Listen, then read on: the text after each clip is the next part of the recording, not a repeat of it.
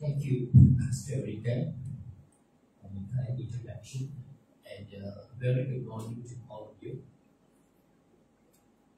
Today, many of our pastors are around. Hmm. There's actually a new outreach in the compound. And this morning, Pastor Henry, Pastor Jenny, Pastor Nangu, they have gone to Tampa to support this uh, new outreach Pastor Henry is sharing the message over there this morning. Today, I'd like to share a topic entitled Stewardship. But before I do that, let's commit the time to the Lord in prayer. Heavenly Father, we thank you, Lord, as we come before your presence. We ask of you that, Lord, that even as I share your word that comes from your holy scriptures, I ask that your Holy Spirit will bring into our hearts the message that you would like us to share with one another. We ask, Lord, that your presence will be with us and your Holy Spirit will fill us to understand what you have for each one of us in your holy words. So, Father, we pray, God, that you be with us, Lord.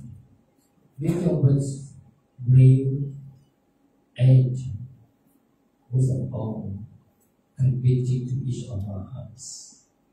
We thank you, Lord, for all this. In Jesus' precious name we pray. Amen. The Oxford Dictionary defines the word steward as someone who manages or looked after another's property. We have heard many times of the word stewardship in the secular world. When you are in an aeroplane, you have air stewards or air stewardess.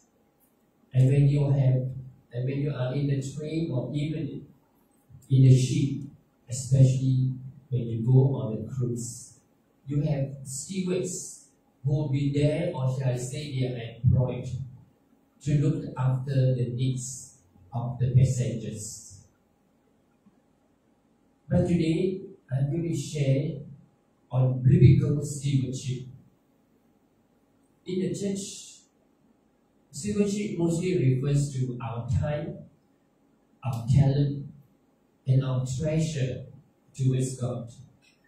It refers to the responsibility that Christians have in maintaining and using wisely what God has bestowed upon each one of us. But what is the origin of stewardship?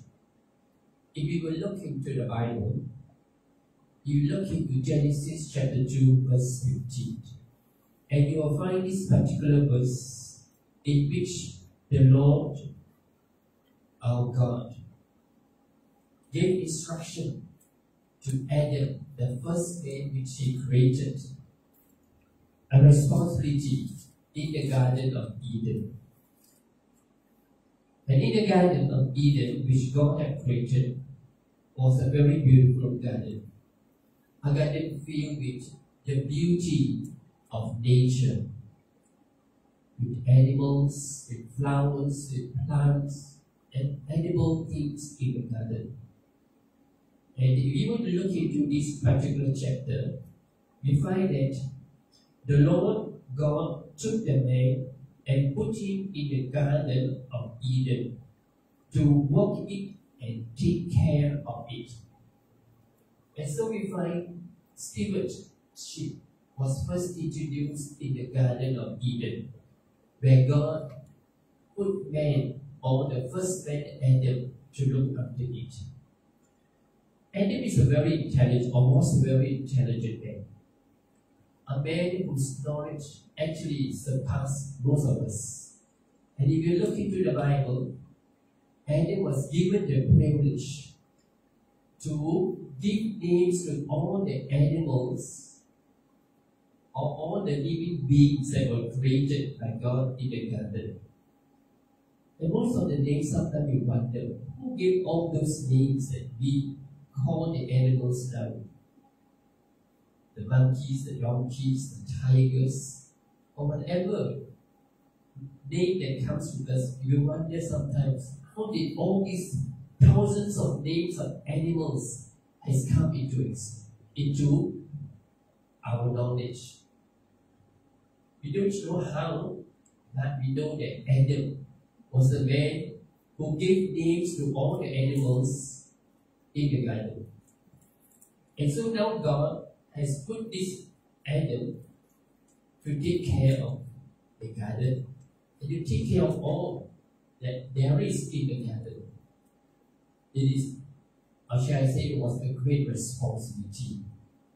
Imagine if you have a small garden in your house, you have taken a lot of time to attend to it, to maintain the cleanliness, the beauty of the garden. I know I used to have a small garden in my porch. Of course, as you grow older, you don't have much time, you don't have much strength, and you have no much energy to look after it. And so now I only have potted plants. I cemented the, the garden and put potted plants into it. But I still try my best to manage what I have. But you know, it's not easy to maintain a garden, especially if those who have big gardens. I've seen my friends, have beautiful gardens. I went to my brother's house in Clay. He has a very big garden. And uh, it's so huge, you know, as big as this hall. And there were so many plants which he planted.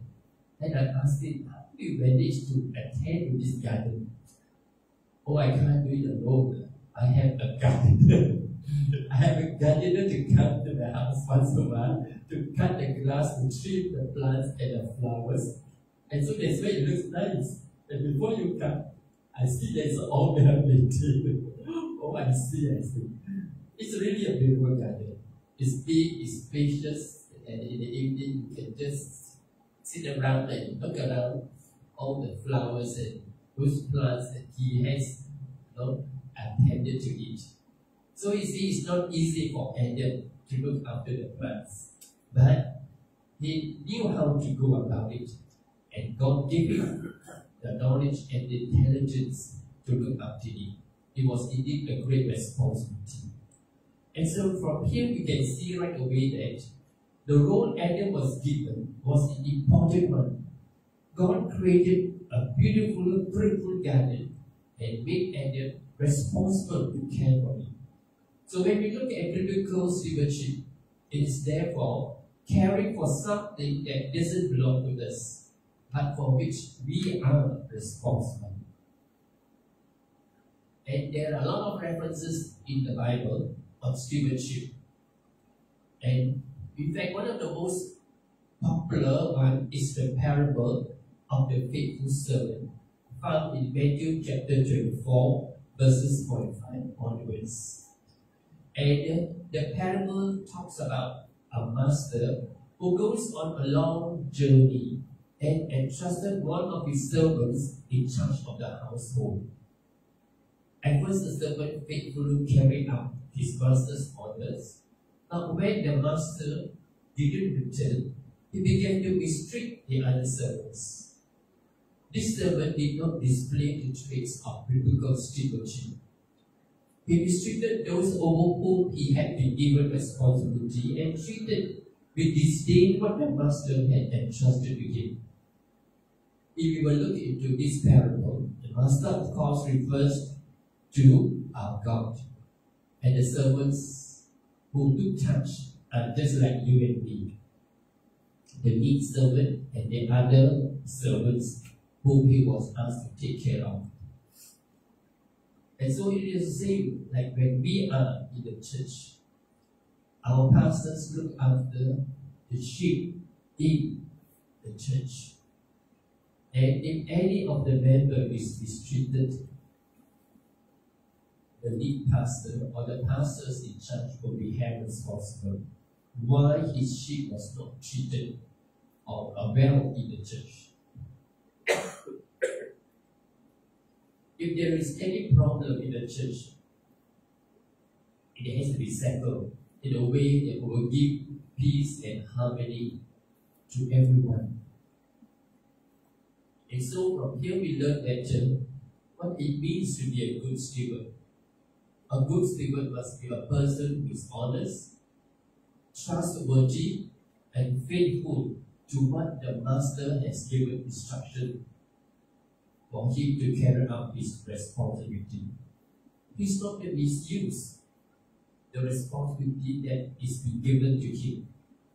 And so we good steward must remember that ultimately we work for God and everything belongs to Him. In Colossians chapter 3, verse 23 reads, Whatever you do, work and eat with all your heart as working for the Lord, not for men.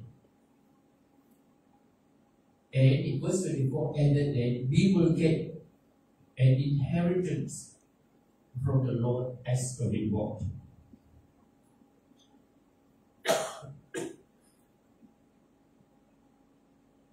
In life, we all work for an employer. Or in any way we, we, we are, we always have a certain responsibility. And sometimes when we are working for an employer, we try to work hard, as hard as we can. But sometimes we can neglect our responsibility. You know, as they say, when the cat is away, the mouse will play. In the sense that when the boss is not around, we tend to be a bit, a bit more relaxed. We try not to do as much as we should. But then when the boss is around, try to be as hardworking as we could to show the boss that we are working. And on top that we want to gain the favor from our employer. But in the Bible, that is not what it should be. When you are given a responsibility, that work in which your employer asks you to do, you should do it diligently. But most of all, when you are working for someone, it's like also working for the Lord. For the Lord oversees everything that you do down on this earth. Whether you work for someone or somebody, remember there's one on top who is overlooking all that you do. And in the Bible, it says that we will get a reward. Although we are saved by the grace of God, our rewards will go according to what we work for the Lord. And so let's look at some of the faithful stewards in the Bible.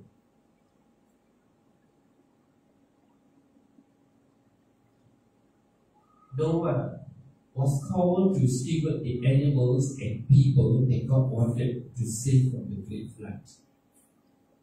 You remember the great flood in the Bible. During the time when man became very wicked, that God could not stand the character of man anymore. And Noah was given that responsibility because Noah was found to be a righteous man like God. A man who is faithful and righteous, honest and trustworthy. And so God gave him a responsibility to build an ark. And also, on top of that, to bring all those animals of different types, of different species, a pair each to go into the ark a male and a female. And together with his sons and his spouses, we find that when the flood came, Noah was able to do what God asked him to do. He built the ark, which was a very big ark. Of course, he can't build by himself. He employed people to do it.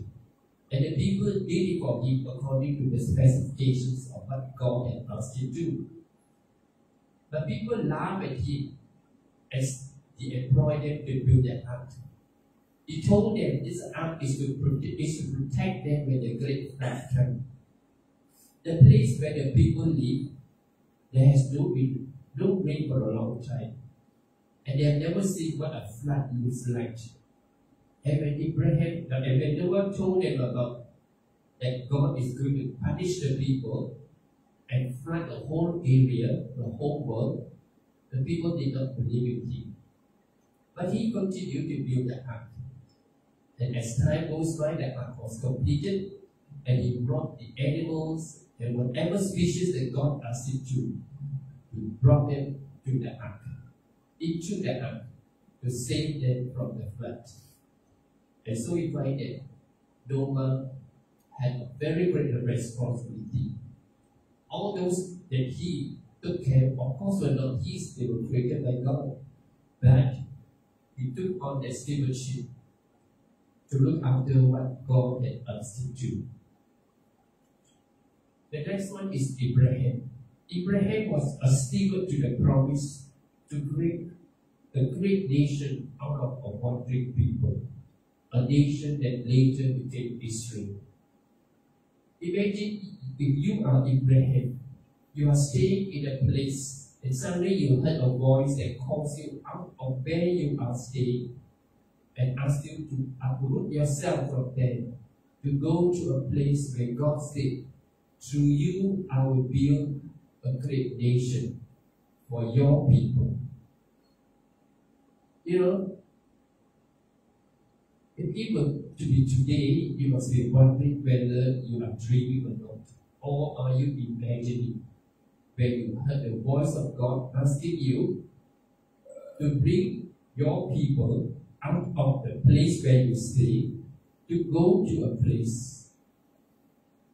Of course, if you were to read the story, it's a quite a long story in the Bible, where Abraham had to go through a very long journey not only a long journey, but a lot of obstacles along the way in order to go to where God wanted him to go.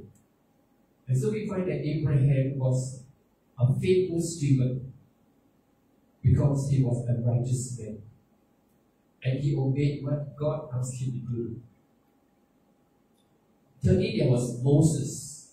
Moses faithfully stewarded the children of Israel, serving as their guide from Egyptian bondage and throughout the 40 years which they wandered in the wilderness. You know, after the time of Abraham, of course, there came a population of people who we call the Jewish race, and uh, they were all in, most of them were in Egypt. For 400 years, they were in Egypt. Can you imagine if you are the descendants of Abraham. And God had promised that you, as the descendants of Abraham, I have promised you a land called Canaan. And for 400 years, they never seemed to materialize. And you must be wondering whether God is going to fulfill his promise or not. But we know that it always takes time for God to fulfill his promise or the covenant he had with Abraham. But eventually, they will reach the place. But at that moment, Moses faithfully stewarded the children of Israel out of Egypt, of which they were there for 400 years. But when you look at it, why did God put them under bondage or under, as, as if they were really slaves to the Egyptian government. At the same time, they were also multiply in population. If you want to have a nation, you must have a people, you must have a population of people. You can't have a nation with just a few people. But they had, but they grew while they were in Egypt for 400 years. And by the time they came up, they have about 600,000 people when they came up out of Egypt, when Moses took them up through the wilderness to the land called Canaan. And then we have Ezra. Ezra was a priest during that time when the, the Jews or the Israelites came back after the captivity, the Babylonian captivity. And uh, we were allowed to go back after 70 years to Jerusalem. And a group of them went back, not many, about I think 30,000 of them went back. And when they went back to Jerusalem, many of them had already intermarriage with the uh, we the Gentiles were in Babylon. And when they came back to rebuild Jerusalem, most of them had forgotten the laws of God. And they were living according to their own ways, in which Ezra the priest found it very disappointing. And so Ezra served as a steward to the people of Jerusalem after their return from the Babylonian captivity and taught them the law of God to ensure that they continue to keep the principles of God's commandments. So you find that Ezra was a steward that helped to rebuild the law of God in the hearts of the people who had forgotten about the law of God. And then there is Joseph. Joseph served as a steward in Potiphar's household. You remember Joseph was sold as a, as a slave by his brothers. And then when he came to Egypt, he was sold into Potiphar's household. But later he acted as a steward while he was in prison from the household of Potiphar. The wife of Potiphar told a lie, and because of the lie, the husband Potiphar sent Joseph into prison.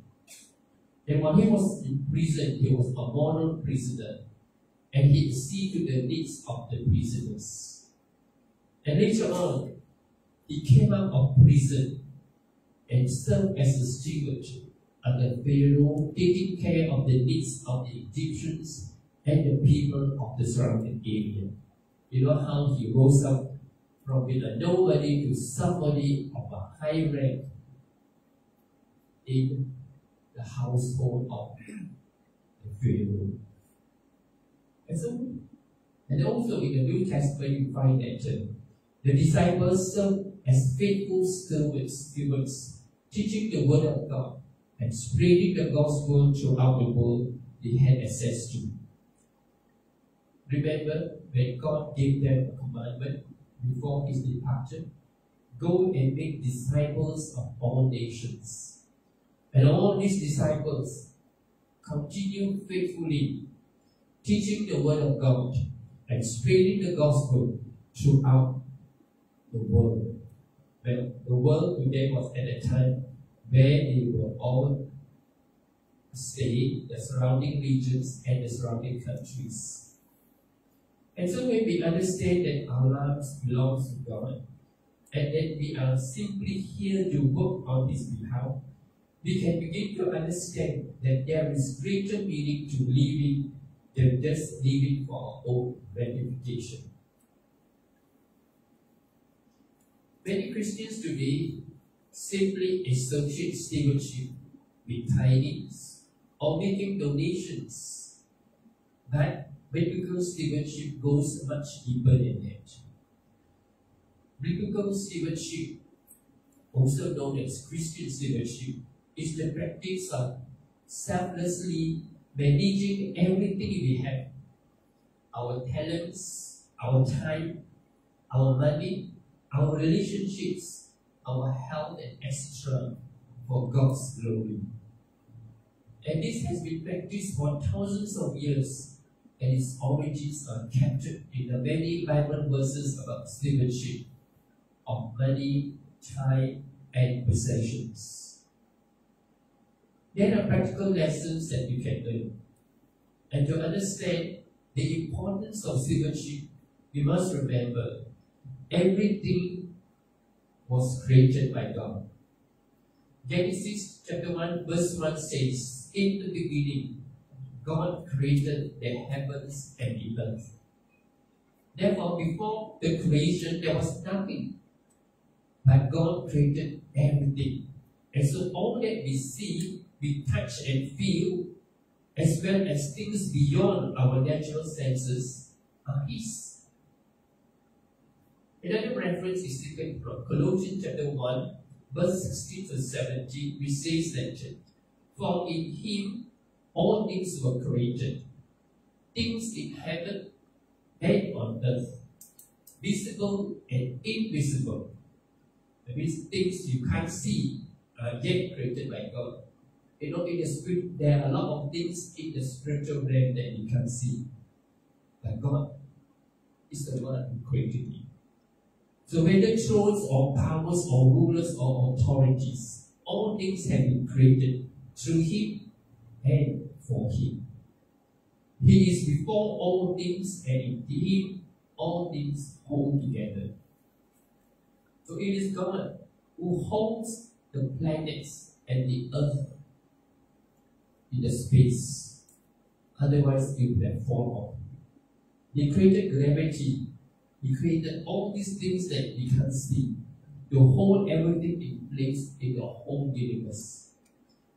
So understanding that God created our world is foundational to understanding biblical stewardship.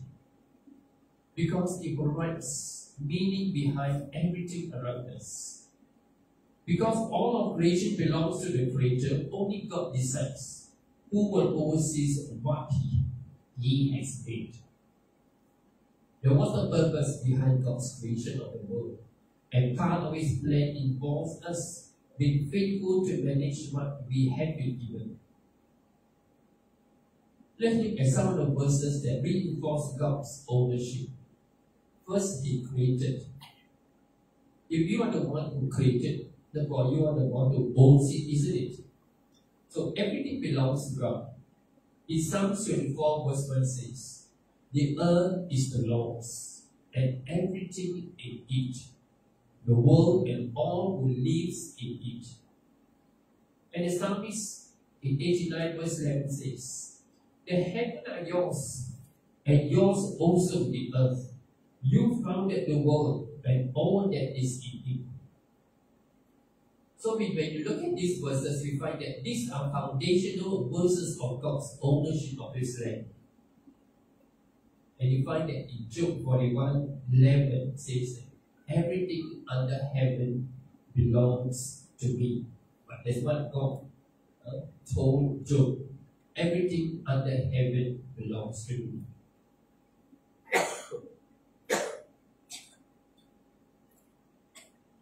When we understand that our lives belong to God and that we are simply managers working on His behalf, we can begin to understand that there is greater meaning to living our life on earth here. God has called everyone to be good stewards, just as He has called Adam to take care of the Garden of Eden. God has entrusted mankind to oversee and manage this planet Earth and all whatever He has given to us. We are to take care of this planet Earth, the environment and the animals were the first task God used to teach responsible stewardship.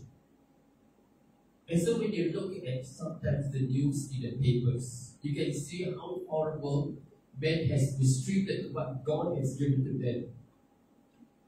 And because God, man has neglected to be good stewards of God's planet and creation, we are now experiencing climatic change due to global warming.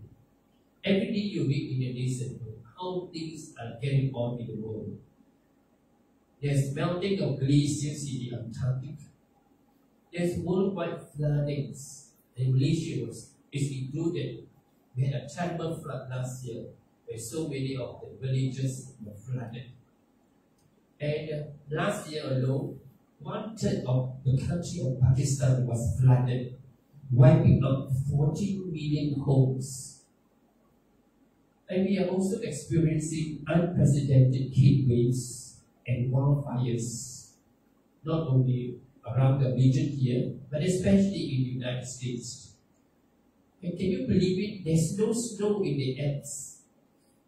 People go to the Alps, famous for its Alpine Alps, where they go ski and holidaying. And I read recently an article. There's no snow in the mountains in Switzerland. On top of that, now we are experiencing terrifying snowstorms in the country of the US. And there's widespread water shortages in many countries, with extinction of, they say, a nearly million species of God's creation. And we are having health problems resulting from burning of fossils and injections of microplastics due to the misuse of plastics and improper discard of plastics into the ocean.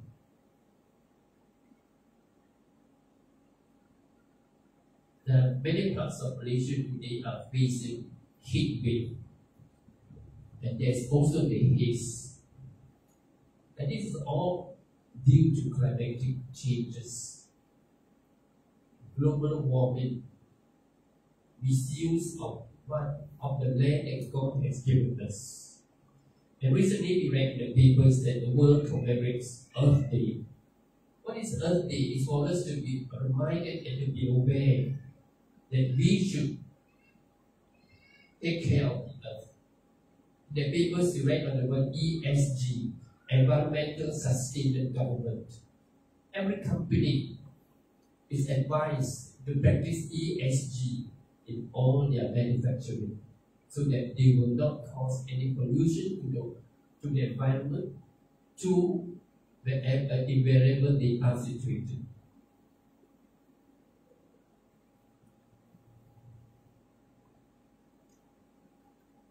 The next scripture on personal stewardship is written by First Peter, uh, by Peter in First Peter 4 10. It says that each of you should use whatever gifts you have received to serve others as faithful stewards of God's grace in its various form. In other means, nature. Whatever talent we have that God has bestowed upon us, let us make use of it for the glory of God, for the glory of the church, and for His ministry to continue. If we have a talent for singing, a volunteer to be God singers on the stage. Volunteer to worship Him and to lead the congregation to worship God. You have been given this talent, so make use of it. For those who are musically inclined and you can play instruments, musical instruments, then volunteer to play the instruments to give glory to God. Each time the congregation comes in worship of God. And if you are good in technical things, help in the PA system, help in the computer system, to make all things function smoothly, that God may look down and say, Well done, thy faithful servant. Time, let us give time to the Lord. Many of you who are working will always say there's no time.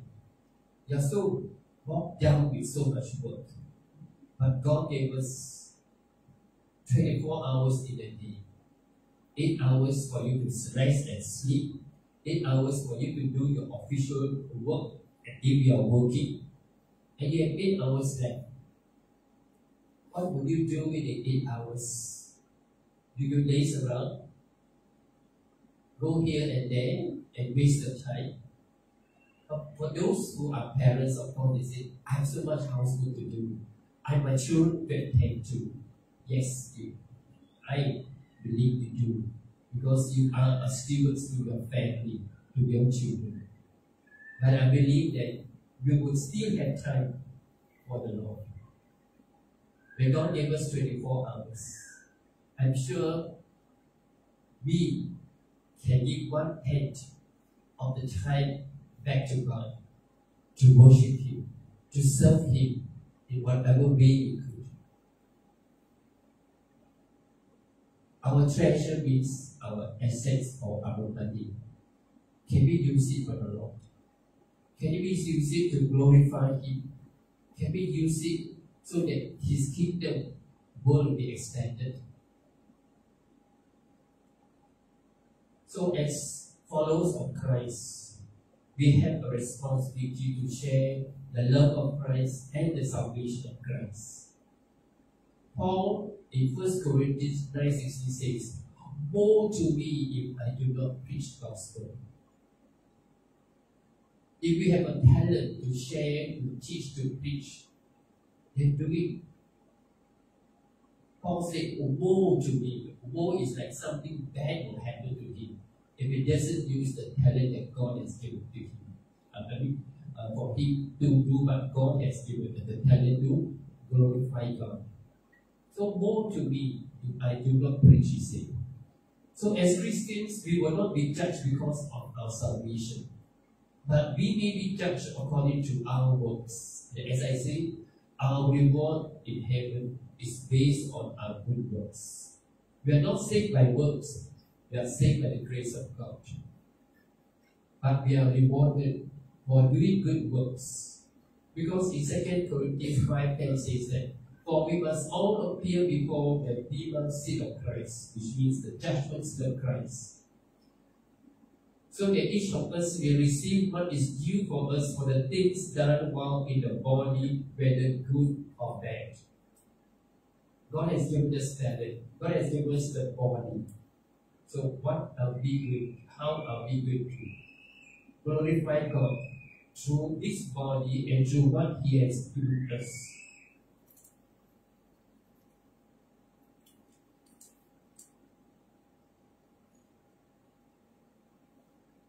Our body that God has given us consists of flesh and blood. And you know what Paul says in 1 Corinthians 6 19 to 20. Your body is the temple of the Holy Spirit, who is in you, whom you have received from God. You are not your own. You were born at a price. Therefore, honor God with your body. Each of us has a body. And we must manage our body, take care of, of our body. Not only to be holy for God, but to be healthy so that we can continue to work for Him and to minister in His name. Every part of our body is from God. Our hands, our feet, our neck, our voice, our eyes, everything. Remember the song it says that let my life and let it be consecrated, Lord, to thee. Let's consecrate our body and all that God has given us. Consecrate to Him so that we will use them for His glory. And it's a song which says that God make me an instrument. Make me a peacemaker. It says that when there's hatred, let me sow love. If there's any injury or hurt among each other, let us pardon one another. If there's any doubt in the walk with God, ask God that He will give you faith to go on. If there's any despair in your life, remember there's hope in God. When there's darkness, let us shed light. And if there's sadness, let us rejoice So as I conclude, let's remember we are all stewards of God's creation. And the conclusion is the realization that every Christian belongs to the Lord. We are to be stewards of what He has placed before us. Besides time, talent, and treasure, we are also to manage this planet Earth given for our dwelling and enjoyment. Let us not destroy the environment by our own negligence, causing pollution to the air, to the sea, to the ocean, to the land. We need a healthy environment to live healthy lives. So let's practice good stewardship for this our dedication to the Lord, to be responsible and fruitful for Him. And then when you see Him face to face, then He will approach you and He will commend you and say, You are a good and faithful servant. Don't you want God to compliment you? That when you see Him face to face, that He will reward you. You know, I was thinking, what does reward actually means? Somebody once explained to me. He said, when God's kingdom is established on earth, who knows you might be the prime minister of that province? Who knows you might be the governor of that land? Who knows you will hold position of authority that God will give to you because you are a faithful servant, because you are a good and faithful steward. If you can be faithful stewards now, He will give you higher responsibility when His kingdom comes. Amen? It's, it's time's up. Thank you for your attention. And I do hope this mention of stewardship will help to understand that we must work our very best, whether anyone sees us or not, because God oversees everything we do. As a conclusion. before I conclude in prayer, if there's anyone who would like to, to pray for, as we always end with the healing ministry, we will let you to come forward and we can pray for you. Many of us can pray, not only pastors, but one another. For we all children of God. And in the Bible it says that we can pray for one another in the name of our Lord Jesus Christ. For He has given us the authority to pray for one another, to uphold one another, to encourage one another. So if you have a need or you want to pray for, you can come forward.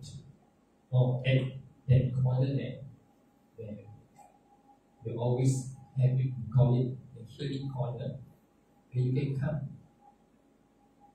to be prayed for. Remember, let me end with a word of prayer. Heavenly Father, we thank you so much today for your message of stewardship.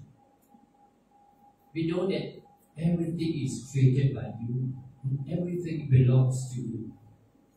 You have put each one of us here to take charge and to manage all that you have given us. And we ask, Lord, that you will give us the wisdom, the knowledge, and the understanding to manage all that you have given to each one of us. The beauty of this planet, the fruits of this planet, the resources of this planet. Help us, Lord, to care for it and to make use of it, not only for our own enjoyment, for the glory of your name. For you are our Lord, the great Almighty. In you we have our being. And Father, I want to honor you each day of our life. That your name will be glorified to each one of us. For we want to give you praise, we want to give you honor, and we want to give you glory. For you are indeed higher than anyone. For there is no one greater than you. We thank you, Lord, for your message this morning. And as we depart from here, we ask for your presence to go before us. Your guide us, your bless us, and to protect us in our coming in and going out. Thank you so much, God.